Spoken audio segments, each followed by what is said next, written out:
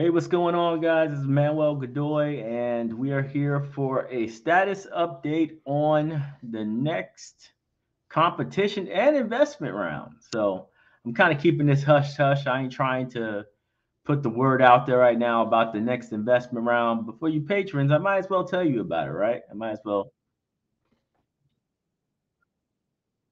Okay. Yeah, sorry about that echo.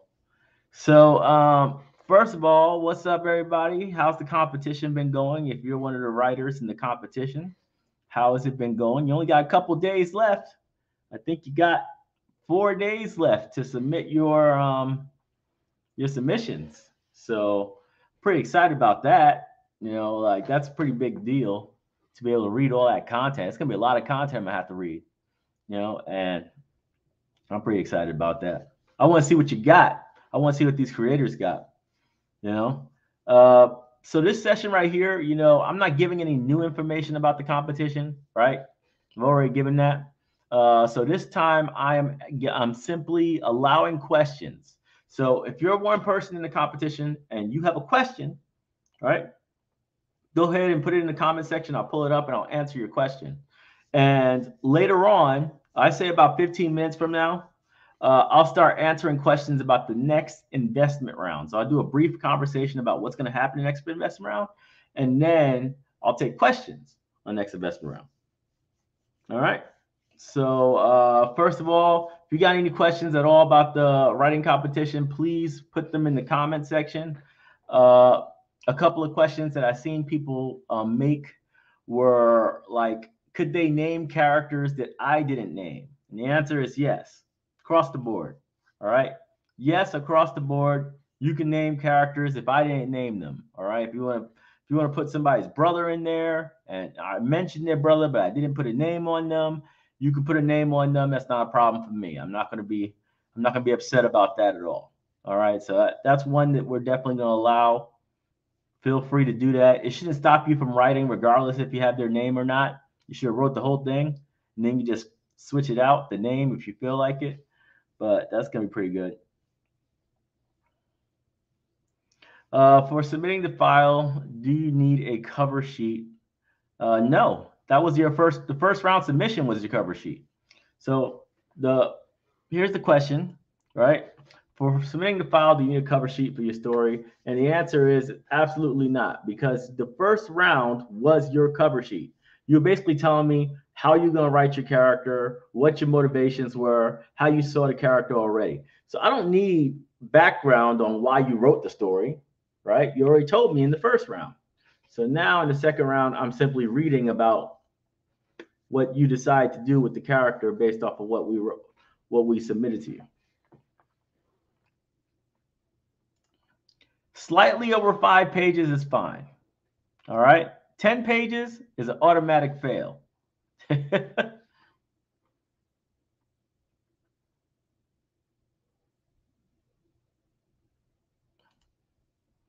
I am not willing to let it go more than than than than five and a half pages. I'm just not going to read that many pages. So if you go on past page six, cut stuff. And, and me personally, this is a big this is a big deal when it comes to writers is you know you have to know how to cut stuff not just write stuff but also cut stuff. You got to be able to tell the story in the frame from which it's done. I've seen a lot of people write a whole bunch of stuff and say nothing. Like they just write pages and pages and pages and nothing has advanced at all because they're not really adding any information that's relevant. So you shouldn't go too far over five pages especially with the amount of work I've given you. I didn't give you a massive amount of content you have to write about. I gave you one scenario, right? So it's not like I gave you over five pages worth of content to write about. It's a very small snapshot. So please don't go over, you know, six pages. And even six pages is a lot. Don't try to make the font super small, right? I told you a font so don't try to make it super small in order to fit in to five pages. That's that's the same exact effect. It's gonna make me read damn near novel. So so so let's get that right.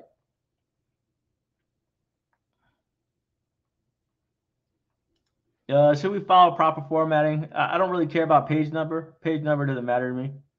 That's that's not something I put in the, in the in the information either. You know, just the proper font, proper spacing, right? Proper font, proper spacing, and proper text size. That's the things that I did. Um, I did right. So focus on that.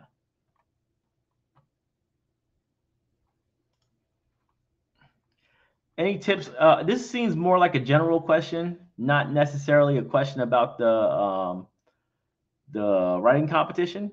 So I'm going to hold on to this one. All right. Ask it again later on when I go into more general questions.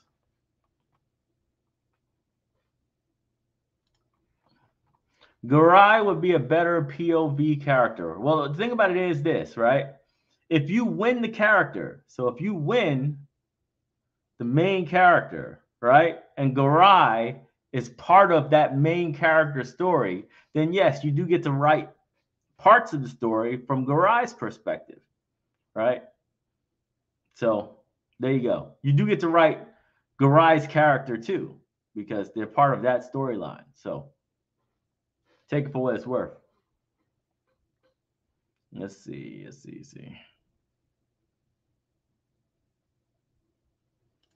Uh, the outlines you gave, uh, will those be a part of the, the actual project once winners are announced? Nope.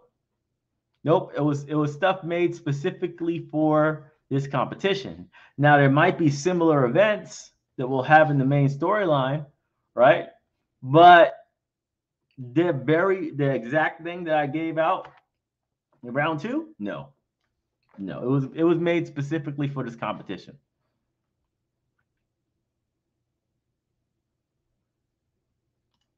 Uh, are we taking any new submissions? No, we're not. We're not. This competition has been going on for about two months now. So yeah, we're not going to be taking any more submissions for now, right? We'll see what kind of new projects we have in the future. But as of right now, it's pretty much a wrap. It's pretty much a wrap. Uh, when will the winners be announced? Probably February, beginning of February, most likely. That's when we'll have the new the, the new winners.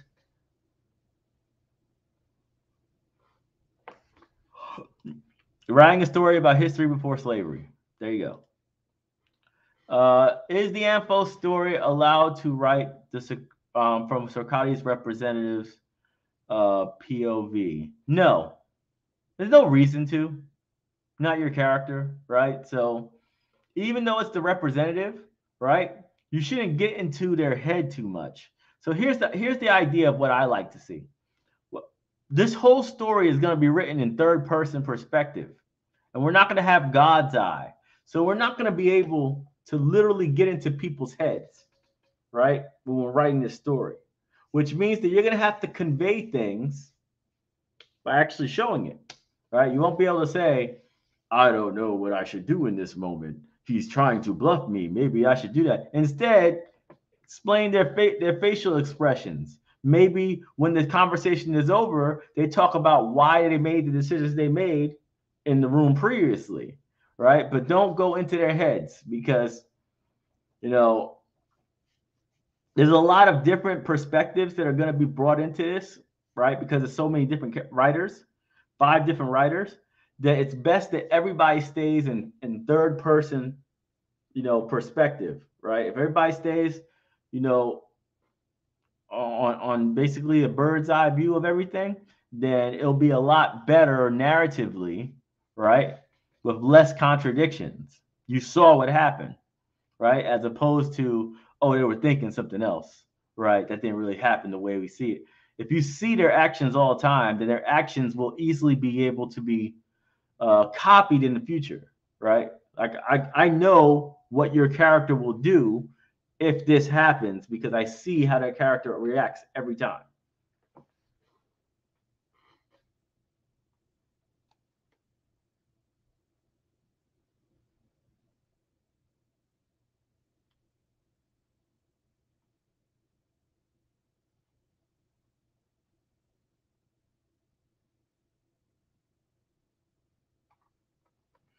All right. Any more questions about the competition? Once once we're done with the questions about the competition, I'm going to move on to the future investment round, right? Because we got another investment round coming uh, around May. May is when we're going to do another investment round. It's going to be pretty dope, right? It's finally going. We're finally going to open back up Black Sands Entertainment for investments, the actual parent company. So it's going to be pretty lit.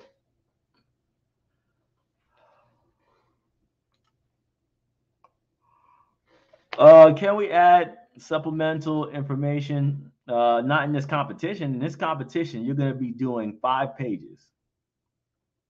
If you, if any of the characters in those five pages needs a whole background check, then you're probably going to fail. All right. We don't need no character sheets. We don't need no grand explanation. If you can't explain it eh, directly in the page, you can't tell a short story. So keep it on the page.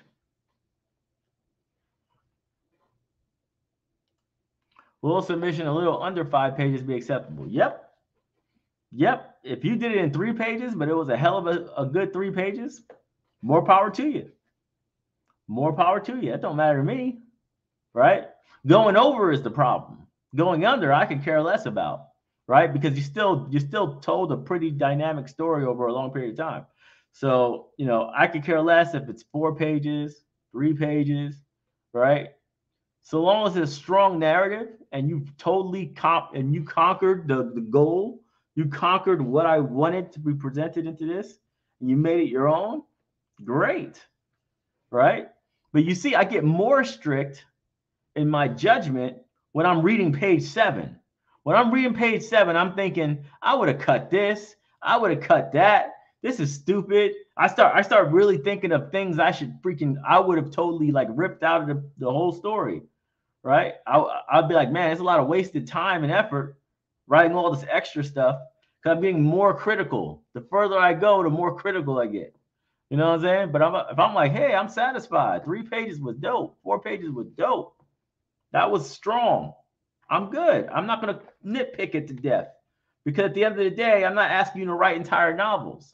I'm not asking you to write chapters that are about 10,000 words each chapter, right? So this is like your entire segment is like 10,000 words.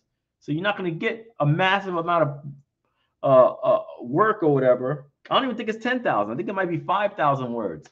5,000 words per per chapter, you know? So I don't, he said, so I really need to be able to get people who can just finish the assignment and not, oh, I missed it by 15 pages. Uh, I got the story done, sir, but you know, I went over 15 pages.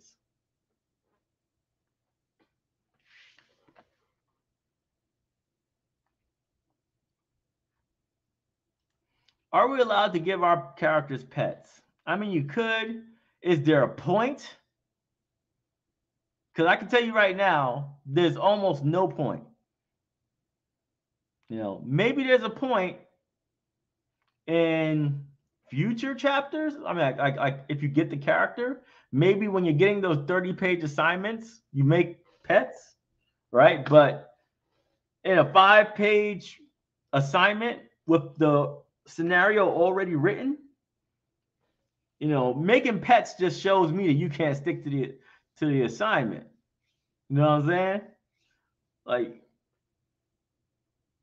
if I'm talking about how two military powers are about to fight, and you say, "Hey, uh, can I add a, a, a, a marriage and how the marriage is currently not going well?"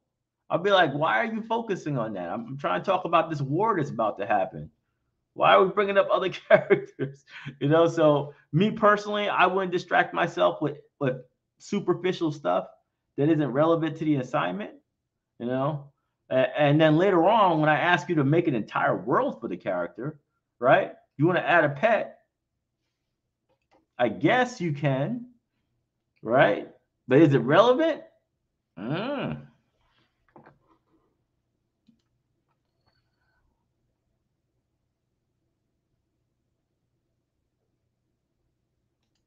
Having an event leading to the main story that okay, I have no clue what you're talking about because I already wrote all the events for the competition. So I don't know what you mean. having an event leading to the main story is that okay? Like I said, I have no clue what that means. I have no clue what that means. Stick to the assignment. So if you want to go and try to connect the dots to something that I didn't connect the dots to, that's on you. But if it don't land well, right? That might be the sole reason why your submission failed. Very risky play.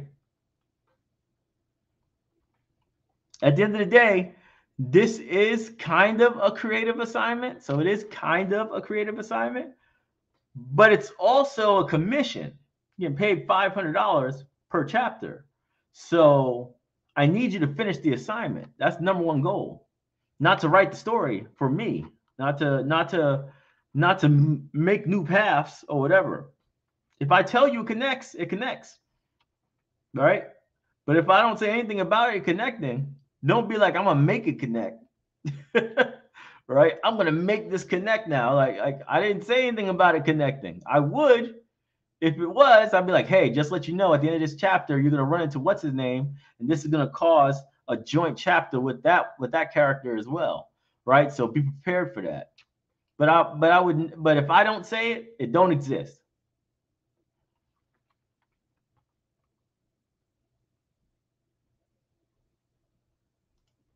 Uh, you said we are doing an event in Harlem. Yep, yep, that's gonna happen. That is gonna happen. So that happens in May, I believe in May, May seventh or something like that.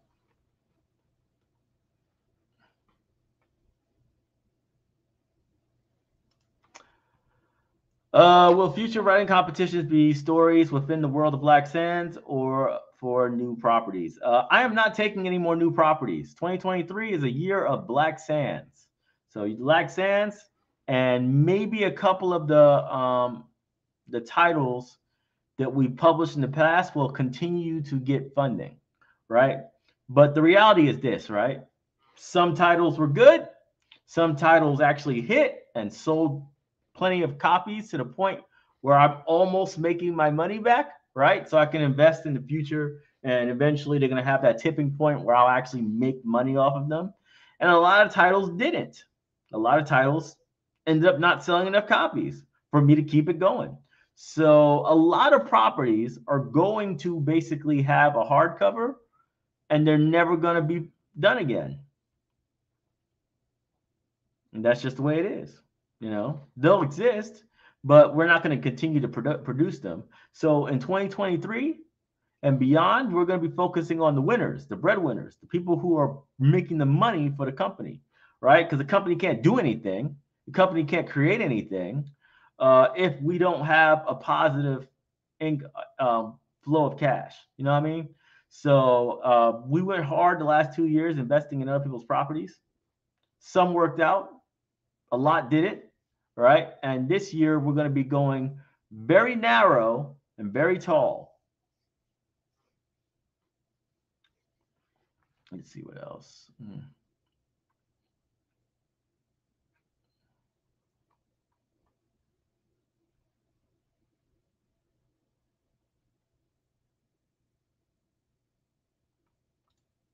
You new here? This is one of those questions that I wonder if you're new here, like you've never you never seen me before. If you've never seen me before, then I guess this question is relevant. But if you have seen me before, then I don't think I need to answer this.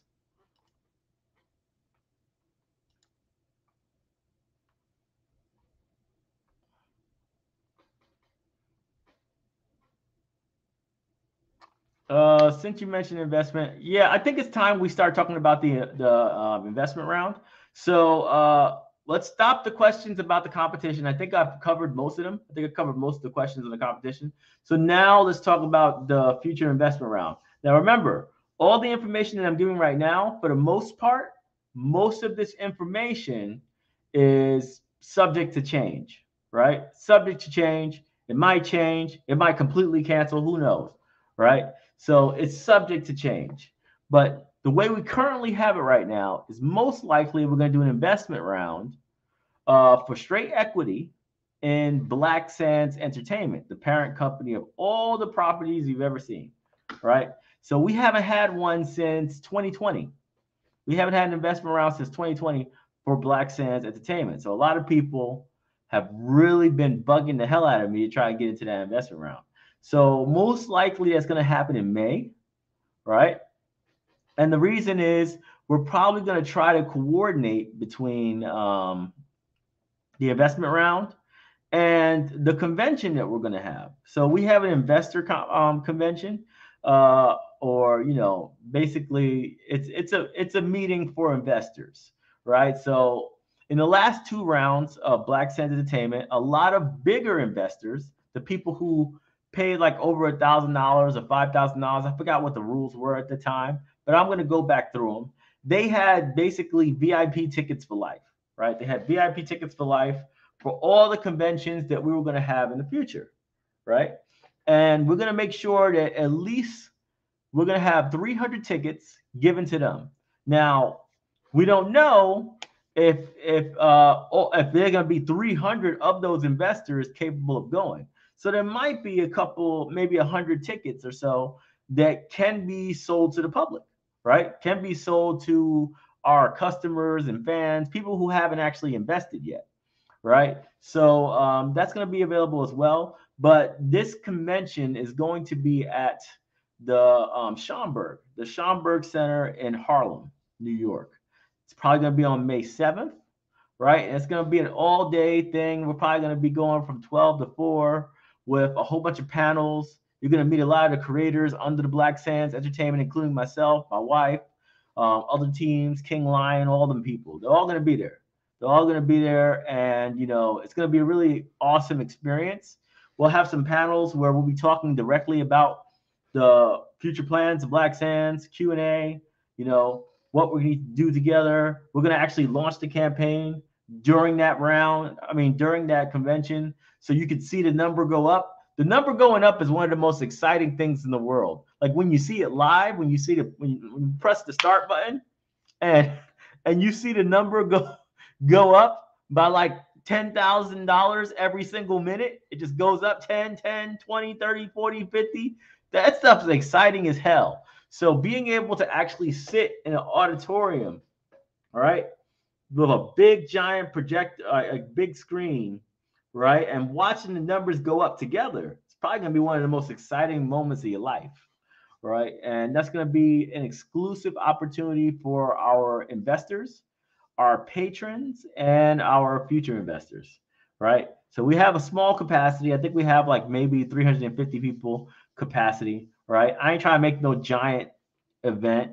There's going to be a lot of sensitive information given out, right? A lot of behind the scenes information for our investors, right? So this is more of a, a private get together where you can meet everybody in the company, you can meet the creators, you get to actually ask hard questions, real hard questions, right? We're not gonna beat around the bush, and it's gonna be it's gonna be pretty lit. It's gonna be pretty lit.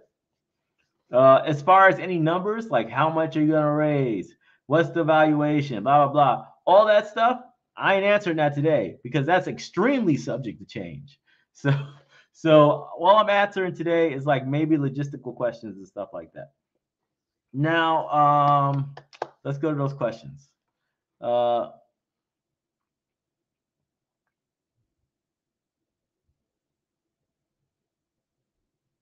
All right. So, um, first of all, uh, if you have any questions about any of the stuff going on with the investment round, please let me know. Oh, yeah. By the way, as I said before, patrons will always get the first investment. So, if you're a patron, if you're an active patron with a subscription, or if you're a previous investor, you will be the first ones to invest in the company, just the way it is. It's always been that way, and it will be that way this time around. Now, the big difference is most likely you're probably going to be the only people who are going to get that 10% discount. I almost always give a 10% discount on the first 500,000 raised, right? So you'll be able to get an exclusive discount because you're a patron, right? So that's pretty important. Make sure to sign up if you haven't. You know, patreon.com slash black sands. Uh, and you know, it's gonna be pretty cool. I mean, 10% discount's big, especially if you're a big investor, right? If you're a big investor, you know, I've seen people who invested like fifteen thousand dollars. That means they got one thousand five hundred dollars in free stock. They just got extra stock, fifteen hundred fifteen hundred dollars. Because ten percent is ten percent. Period. You know, and you know, I think it's pretty cool, man. I think it's pretty cool. We've done it for years. We'll do it again. Any new questions?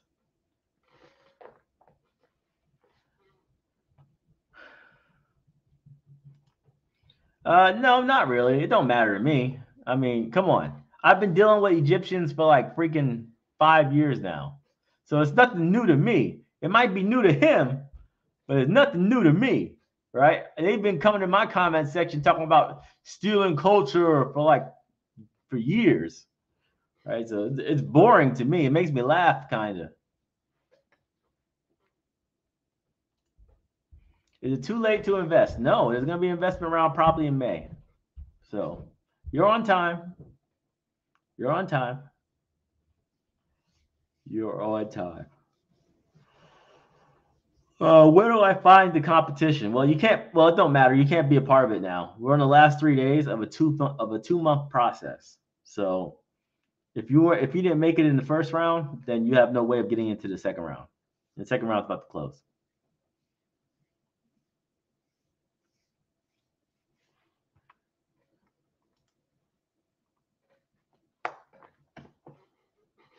Now, anything else?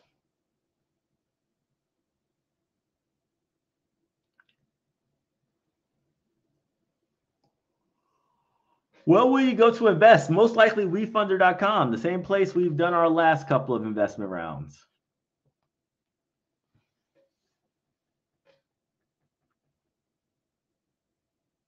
Is book 13 coming soon? Digitally, yes. Physically, hmm. that's going to be a while. Physicals are going to be a while. So this is this is the this is the print run that I have coming to me. Uh, once issue 13 is colored, right? Once issue 13 is, is colored, we're going to um, print issue 12 and issue 13. We're only going to print about 500 copies of that, right? So we're going to print about 500 copies of issue 12, issue 13 is only for the collectors, right? And then we're going to print about 3,000 copies of Ultimate Volume 4. So Ultimate Volume 4 will be done with 11, 12, and 13 combined, right?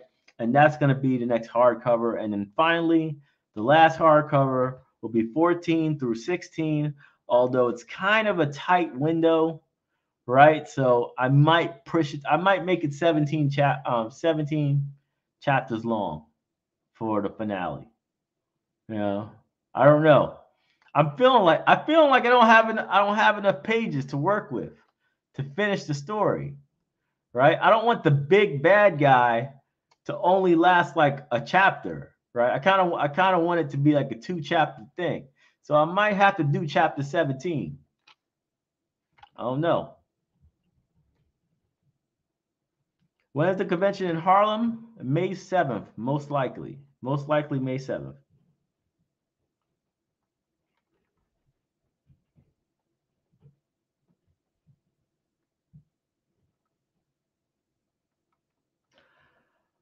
Uh, what is the advice I have for new comic book characters? The reality, I think, I think I did a whole episode on that. I think I did a whole episode on um, my podcast, which, by the way, is starting back up this week. So this week we're actually starting up the podcast competition again. That's pretty cool, right?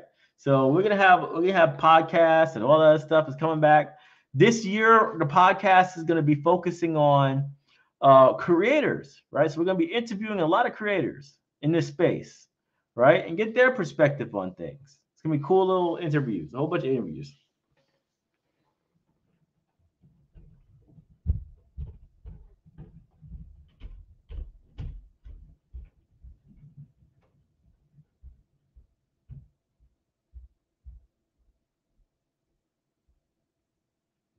The Harlem Convention is the investor convention or investor summit. I think it should be better to be called an investor summit. That's what it is. It's basically a get together for all the investors to come and talk about the state of the company, what's going on, meet the creators, meet all the people who are signed under the company, right? And ask the tough questions. So it's a pretty cool thing. We're going to ask that everybody leave their kids at home, right? For this one, maybe next year we'll have a venue big enough for, for the kids as well right? But this one's going to be a one day come out to New York, one day event, right? And it's going to be adults only just because we just don't have the venue space, right? We don't have the venue space. So we're looking at 300 able bodied adults in the building. That's that should be like stretching it pretty good. It's one day, one day on a Sunday. No, Muntu Warriors is doing great. Muntu Warriors is actually doing great. So don't worry about that. Muntu Warriors has done very well so far. Very well.